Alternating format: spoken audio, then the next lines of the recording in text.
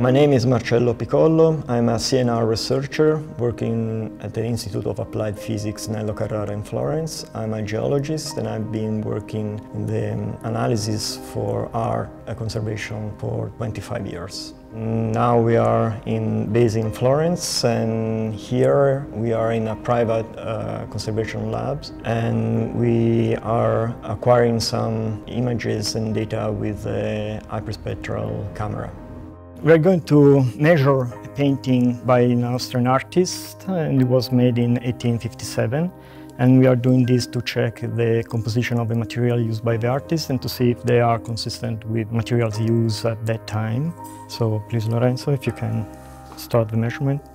Hyperspectral imaging technique is a very powerful methodology because uh, we can have at the same time good documentation of the artworks in the different uh, spectral region, visible, infrared, UV.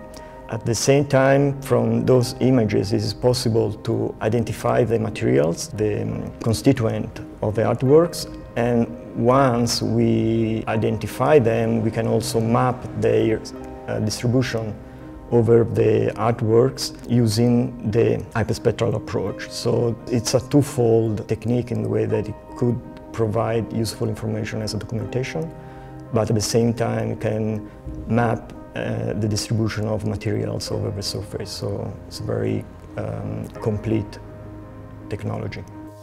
And particularly the blue mantle of the angel on the left it was made with uh, cobalt blue, which was one of the most important blue pigments at that time. What we need now to acquire is uh, another set of data at a closer look for checking some of the details of the painting.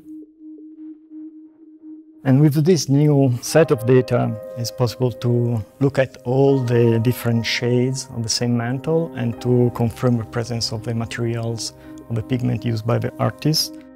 Hyperspectral imaging technique is uh, widely used in different fields and basically starting from remote sensing up to industrial applications, uh, quality control, and forensic uh, medical uh, applications, something like that. So having a device like uh, the, the SPECIM IQ, which is now available, would be very useful for um, having some you know, compact devices to be used for, for any specific uh, field of applications in, in more or less in any, in any environment.